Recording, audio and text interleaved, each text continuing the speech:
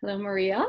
Hello. Thank you for joining us um, in this interview, and I am certainly looking forward to talking a little bit more with you about your experiences as an IMC professional, especially right now in a very difficult time in all of our lives. And I know that uh, your marketing work is rooted in New York City. So, mm-hmm. Um, what I hope that we can do in this time is to just kind of talk a little bit about your experiences and kind of how that has related to your work um, in, in a difficult time. Does that sound good? Sure. Okay. I'm happy to do that. All right, thank you. So I guess, you know, first things first, I was wondering if you could please um, give us a little bit of background. Of course, you know, if you want to share, you are an IMC alum as well as an undergrad alum of Bonaventure. But um, if you could give us a little bit of backstory and then help us understand um, where you are now in your current position. Sure.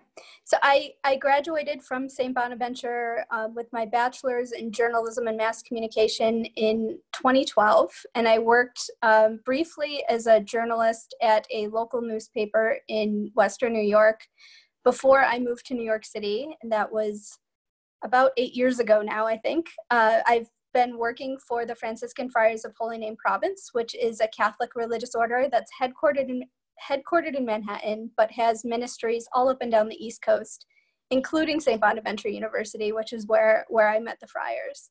Um, in 2015, I believe, I decided that I would like to go back to school and um, and like kind of expand my skill set, if you will. And I chose the IMC program at St. Bonaventure.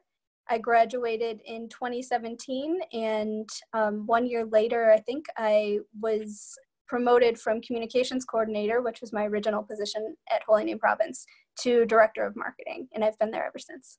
Oh, congratulations. Thank you. And um, could you give us a sense? I know I had said to you kind of in advance and not trying to be funny or sarcastic, but I think when people think about a friary and and they wonder, okay, what what could a marketing director be doing? So I looked at your site. I know there are lots of things that you do. There's a, yes. so many wonderful communication pieces, but could you give us a sense of your of your role there? Sure. Um, it's it's actually a very common question.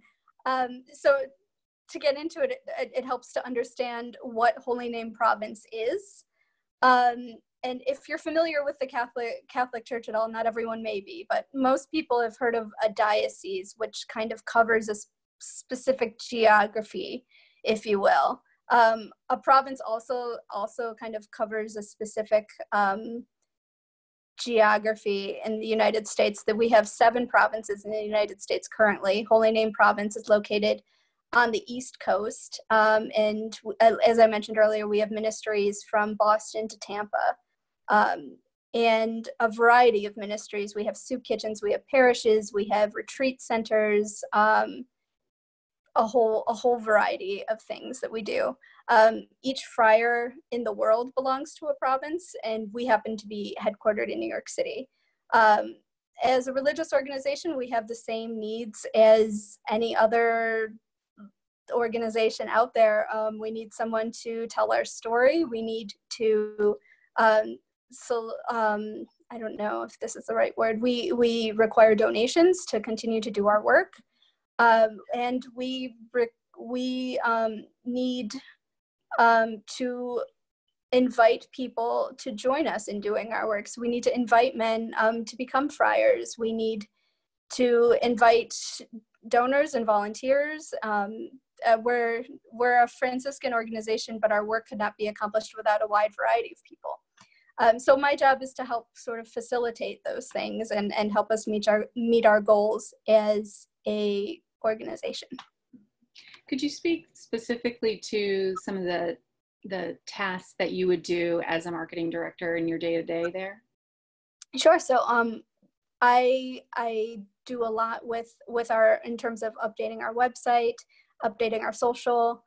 Um, I I kind of do some internal internal communications as well like we have friars living living um, across a wide ge- geographic area. So it's important for us to keep them connected with each other. So I help I help with that. Um, I I wear a lot of different hats because we're we're a small team, so I end up end up doing a lot. And um, really, that was one of the the great things about my my entire education at Bonaventure. I learned to write, I learned to edit, I I learned how to um, create strategies to get messages out there. Um, so I get to use all of all of those skills in what I'm doing now.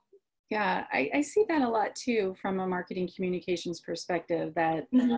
um, you know, as a practitioner myself, I, I know that you know our range has to keep increasing. Yes, it now it's you know it's it's content marketing, which of course the background at Bonaventure was so helpful in that mm-hmm. data analysis and analytics, which you know yeah. uh, 10 years ago we weren't as concerned it wasn't as much part of our responsibility but the scope of what we do continues to grow and expand and you're right i, I do see that continuing mm-hmm. um, so could you tell us a little bit about um, you know as the pandemic um, began to unfold and all of us were feeling very uncertain and then further on, as you know, it became became clear that New York City was, you know, very much an, an epicenter of, of what was happening.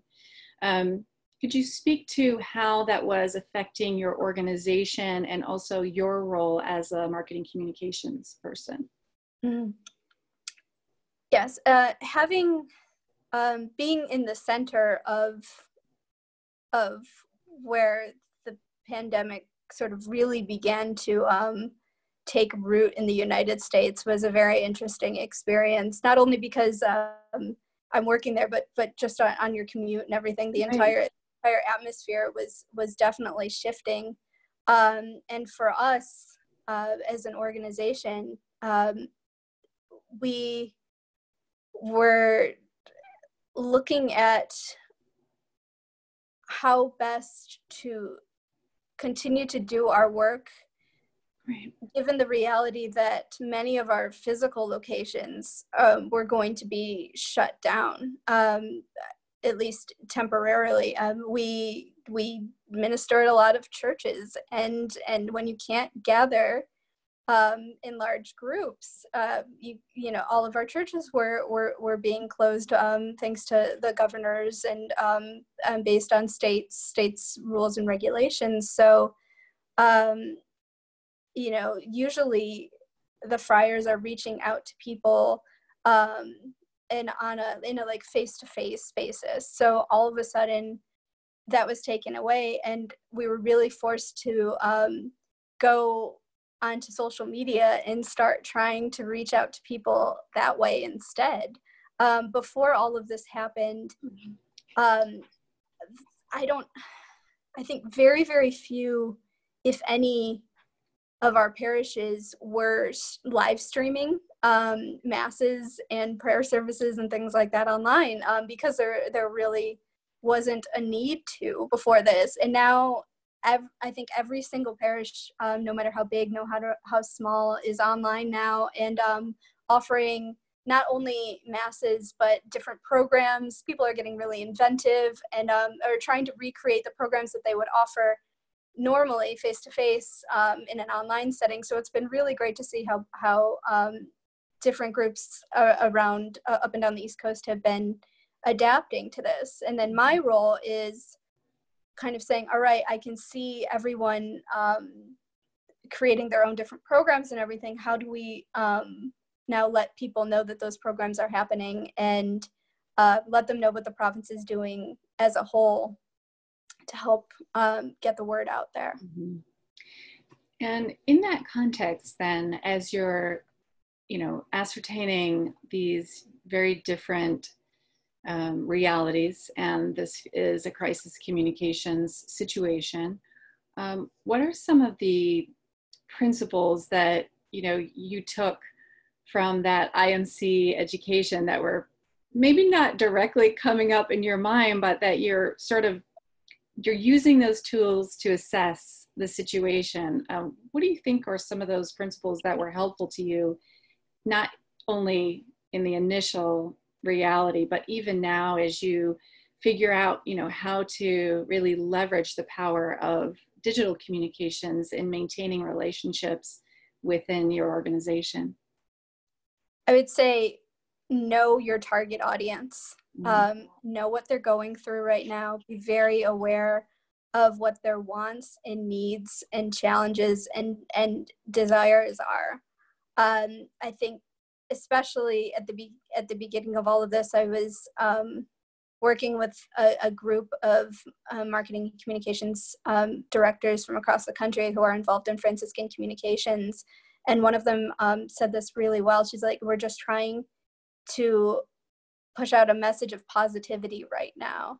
And I, I hadn't like consciously realized that at the time, but that's that's what we were trying to do as well. Um, I think the Franciscans are in the business of, of giving people hope Mm-hmm. Um, not not only during the pandemic, obviously, but just in general. That's what we do. We we we bring um, love and welcoming to everyone that we meet. So so our message really is so appropriate to what people are going through right now. Like you know people are are scared you know people are anxious you know people are being bombarded with a lot of negativity in the news. And what we can do is um, we can recognize that people need that mess like, like, they're looking for something hopeful right now. They're looking for something positive. They're looking um, for something to help them move forward. And um, our message just fits that fits that really well. So mm-hmm. we've been able like by by looking at what our target audience needs we can we can deliver that. Yeah. Yeah i think that's so true. And i know you know one of the things that we talk a lot about in imc is the importance of knowing knowing your audience knowing your customer mm-hmm. and also respecting them and building a meaningful relationship with your audience where i think you know inherent yeah. inherent in a good relationship with your audience is a need for compassion, a need mm-hmm. for empathy, a need, need for understanding them where they are in the moment. Um, and I think that that's, you know, been something that we've all been striving to do. And um, have you found it, have you found that difficult? Have you found it actually surprising in some ways? Um, as you've gone about, you know, reaching out to people in a much more digitally based format? Has have there been things that have surprised you? I I think I've I don't I don't know if surprise per se, but it really confirmed that that um positivity is is what mm-hmm. people need right now. Um, there was there was one post in particular that we we shared um, a couple weeks ago now, I think, um, some of our student friars created uh, they're on tiktok so they created um, this one of the one of the dance challenge videos. Mm-hmm. and so we we posted it on our facebook page and it just like blew up. It went viral for for us um, at least in terms of engagement. Um, and that just kind of confirmed for me like people are just looking for something uplifting right now. Yeah. Uh, and and that that really just solidified it for me yeah I, I agree and i know you're emphasizing you know that positivity message and so in mm-hmm. your planning um, of your marketing content how have you adjusted that given the situation are you changing messages in social um, and on your website for example or is your planning kind of remained the same because your message is positivity and hope I think we've we've made a couple of little adjustments here and there, but overall, it's it's it's remained the same. I think um, the way we talk about some of the services that we offer has changed a little bit. Um, uh, just in terms of word wording and nuance, I think a little bit. I'm trying to think of an example. Um, we have a we have a lot of um, we have a lot of soup kitchen and food based um, ministries that we do. And i think before you know we could talk about how oh like we helped like three 300 guests this week came and visited our soup kitchen here and and we serve them this way. Um, and those those numbers are are getting bigger now obviously and unfortunately. And um, it's it, even though before when we posted something like that it might have sounded a little like it, it would have been positive news for us because look like we're helping people and and here's what we're doing. Now i think the focus on those posts is oh my goodness look at how many people need help. It's it's less about you know the work we've been doing and more people are getting are aren't are seeing and focusing on the numbers of people who need help versus you know the the the programs that we're offering so we're so we're adjusting wording and things like that to to um to to adjust the focus i guess a yeah. little bit um that makes sense no, it makes perfect sense. I was thinking of the word tone. You know, the tone mm-hmm. we've approached yeah. some of that content, I think, has has really changed. Mm-hmm. Um, and also, like you've said, in a different way, but to provide help. Mm-hmm. You know, yes. In, in whatever yes. way that we can, I mm-hmm. think has, has been a powerful um, anecdote as well.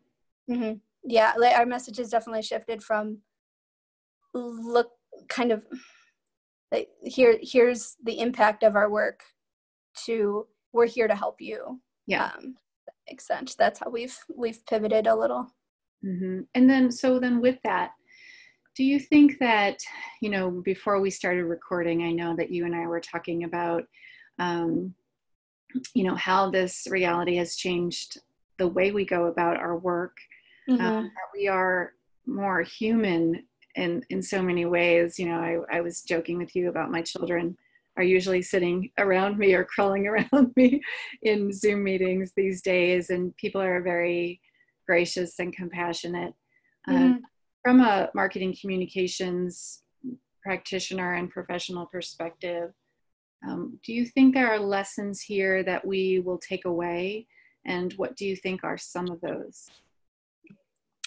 i think authenticity and honesty um, in the way that you communicate with your target audience is just going to be key in the future. Um, I think it, with so many so many people, unfortunately, are, are are out of work right now, and that means that um, like their spending power has has um, diminished, and they're going to be very careful about what they spend their money on, um, at least in the near future. And as an organization, um, your messaging needs to be laser focused on them and their needs and and building a true relationship with them. I think we're seeing a lot of commercials right now. I don't know if you've noticed this, but I feel like a lot of commercials right now are are kind of like drone footage and inspirational music and we're all in this together and then they're like ps buy a car um so so it's it's not it's not necessarily for me at least not necessarily reaching me in an authentic way that makes me feel seen and uh, and and it's not recognizing that i'm going through a difficult time right now necessarily. I I I, I, I just think in the future we're we're going to be even more focused on really being aware of our target audience and not only like what they're looking to buy but what they might be going through as a whole yeah yeah that no anything anything that's anything that's not focused on that is going to fall really flat i think yeah, no, I think that's a, a wonderful. And, you know, it's interesting. These are principles that we have always kind of preached, if you will, within integrated marketing communications. And certainly at Bonaventure, you know, the importance of recognizing the human and, and compassion. Mm-hmm. Um, but it is sad and, and still true that sometimes a situation like this is what is required to help shift that paradigm of, of how we approach things so that it isn't just superficial, but that it is has meaning in the long term. Mm-hmm. So I I hope that that is true in this case. yeah. Uh, as we go about our work. So, well, is there anything else that you would like to share with us? Um, I just wanted to be sure to kind of give you some open space um, in your experience as a as a marketing communications professional. It could be related to what's happening right now, or what you think may happen in the future, or you know, just sort of some uh, parting thoughts to share. I think uh, sort of sort of going back to what we said earlier, it's just very important to be compassionate and empathetic and um, keep those things in mind whenever you're you're forming any kind of messaging, whether it's during a pandemic or not. I think um, it's those things that help make your overall messaging more human, more authentic, and um, hopefully more successful. Um, mm-hmm moving forward in the future. I think relationship building is is is key for where we are and where we're going. And and keeping those qualities in mind are are going to be essential. Yeah. Great. Well, thank you so much for your time, Maria. I really appreciate it and I wish you well as as you personally as well as professionally continue um, to navigate all of this. So Thank you. Thank you. I was happy happy to have this conversation with you. Go Bonnies. Thank you.